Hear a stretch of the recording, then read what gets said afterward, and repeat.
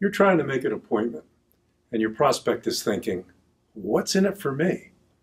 If I give this guy an appointment, if I give him some, some of my time, how am I going to benefit?